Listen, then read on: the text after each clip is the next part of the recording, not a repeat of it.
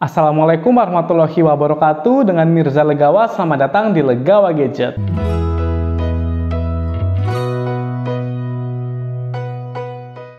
Sebelumnya jangan lupa untuk klik tombol subscribe untuk support channel Legawa Gadget. Terima kasih.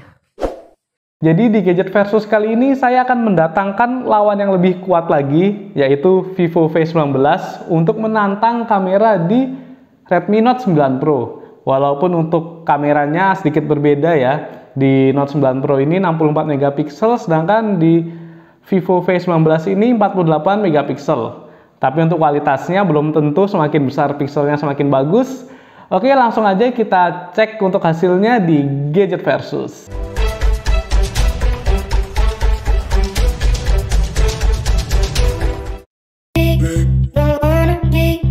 Pada kondisi daylight, kedua kamera terlihat sama-sama kuat dengan detail serta dynamic range yang cukup luas.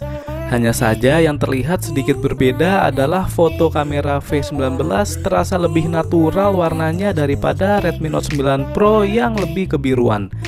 Jujur aja, di sini saya sedikit kesulitan ya untuk mendapatkan perbedaan kualitas di kedua foto. Tapi kalau coba kita zoom ke salah satu objek, di sini baru kelihatan ada sedikit perbedaan kualitas, warna, dan ketajaman gambar. Foto di V19 terlihat sedikit lebih tajam dan warnanya lebih pekat daripada Redmi Note 9 Pro.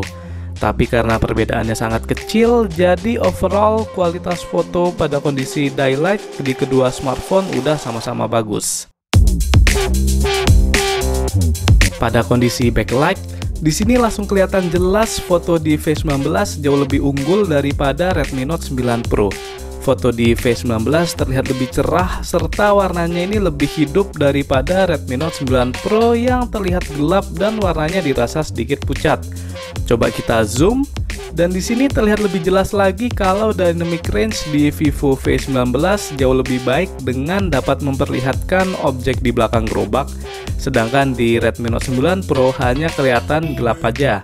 Pada kondisi ini sudah jelas ya foto di Vivo V19 jauh lebih baik. Kita beralih ke mode portrait di sini sekilas terlihat kalau foto di Redmi Note 9 Pro lebih baik dengan warna yang lebih tegas daripada V19. Eits, tapi jangan terlalu cepat memutuskan. Coba kita zoom untuk melihat kerapihan bokehnya. Dan di sini langsung terlihat jelas ya kalau kamera Vivo V19 jauh lebih baik daripada Redmi Note 9 Pro. Kemampuan bokeh di V19 ini sangat baik dengan detail serta fokus yang tajam, bahkan untuk bokehnya ini rapih banget. Semua duri di tanamannya dapat terlihat jelas dari batang sampai ujung durinya. Sedangkan di Redmi Note 9 Pro, gambar terlihat kurang fokus dan untuk bokehnya ini agak menyedihkan ya rasanya. Berantakan banget, bahkan hampir semua durinya kena blur. Jadi di sini sudah jelas kalau Vivo V19 jauh lebih baik. Pada lensa wide angle, saya sajikan foto masing-masing device-nya dulu ya biar kita bisa tahu seberapa luas jangkauan fotonya. Dan ini adalah kamera Redmi Note 9 Pro dan ini adalah kamera Vivo V19.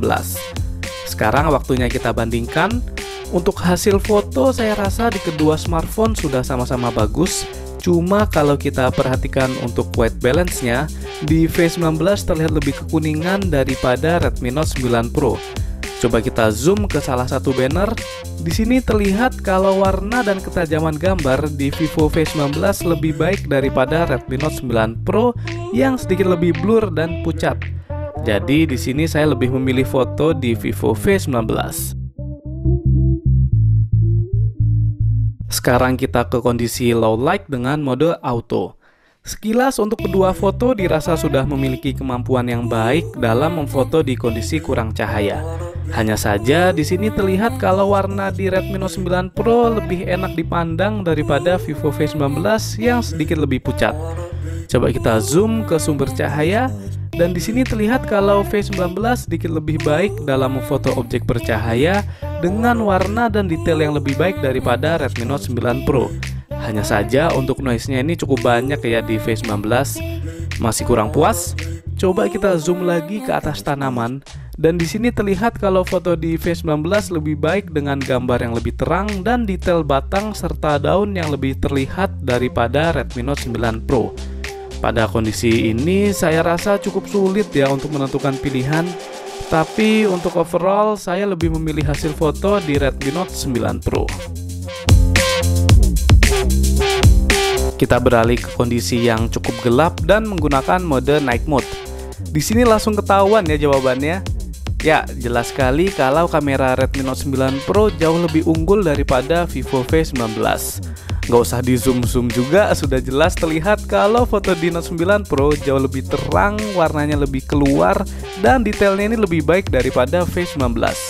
Saya rasa sepertinya tidak ada perbedaan ya antara mode auto dengan night mode-nya di Vivo V19. Jadi pada kondisi ini sudah jelas kalau saya lebih memilih Redmi Note 9 Pro. Sekarang kita ke kamera depan dan di sini sudah jelas hasil kamera mana ya yang lebih baik. Sang spesialis selfie yaitu Vivo terlihat hasil fotonya jauh lebih baik dengan warna yang dihasilkan lebih natural dan fotonya ini lebih cerah. Beda dengan Redmi Note 9 Pro yang terlihat lebih gelap dengan bagian mata saya yang menjadi kehitam-hitaman. Di sini sudah jelas ya kalau Vivo V19 lebih baik daripada Redmi Note 9 Pro. Sekarang kita versus antara video Redmi Note 9 Pro dengan Vivo V19. Bagus mana? Di kanan ada Vivo V19 dan di kiri kita Redmi Note 9 Pro. Coba kita cek stabilannya.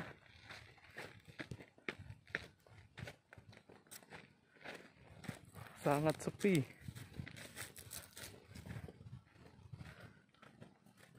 bagaimana hasil videonya dan hasil dari rekaman mikrofonnya bisa dibandingkan ya dari kestabilan dan warna. Bisa kita cek. Kita agak lari dikit. Oke.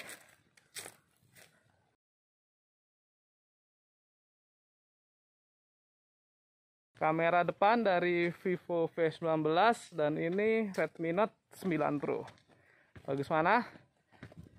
Sekilas kalau dilihat lebih natural di Vivo V19 ya dan angle-nya tuh lebih luas juga tapi nanti kita lihat kalau udah di laptop seperti apa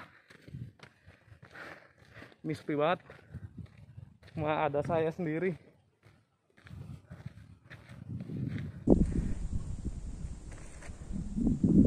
Oke, bagaimana hasilnya? Baik, bagaimana hasil versus antara kedua smartphone ini? Dari hasilnya, kamera di kedua smartphone ini sama-sama kuat ya.